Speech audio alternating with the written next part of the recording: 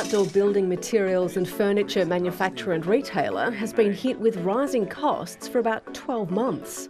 About this time last year, we had quite a big shock with uh, very, very large increases in, in sea freight, international freight in all markets. We're starting to see shipping costs come down significantly, not quite back to what they were pre-COVID. Quarter brick, half brick, full brick. But that fall in shipping costs has been replaced by higher production bills, particularly for the building materials it imports from Europe, where some suppliers have seen gas prices soar 700%. Some people have talked about building costs coming down. I'm probably not a believer that building costs are going to come down, but I think we're going to have a, a sort of, a, I guess, a, a floor to the increases. The latest inflation data shows there was no let up in the costs for new home builds, and rents jumped.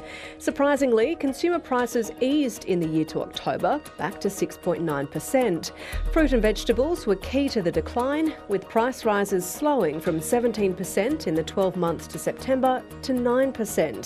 In the same period, travel costs eased and fuel prices rose after the government reversed the excise discount.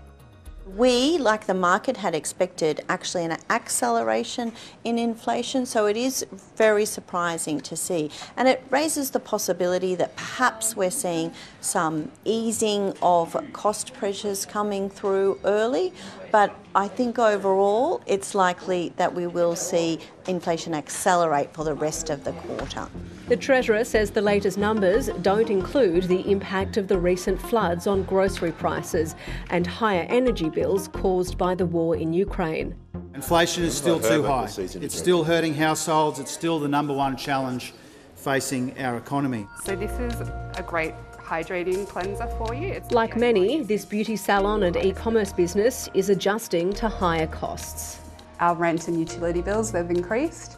Um, even small things like salon consumables, for example. I know it sounds silly, but like tissues have gone up in prices um, and we use a lot of them at the salon. So far, they've been absorbing those extra costs, but are now starting to pass them on to customers. We have had to look at our prices and we will be making some slight price increases. It could be anywhere from a few dollars to five dollars more. The Reserve Bank predicts headline inflation will reach about 8% by the end of the year. We'll know if that's the case in January, which means it's unlikely the RBA will pause its rate hikes just yet. I think that they will, will discount some of the weakness in these numbers. There's clearly a risk that they are, inflation is easing a bit more quickly than expected, but I think that they'll probably want to be a bit more confident, so wait uh, for their natural pause that they'll have in January. The RBA meets for the last time this year in December. Most economists expect it will lift the cash rate by another quarter of a percentage point.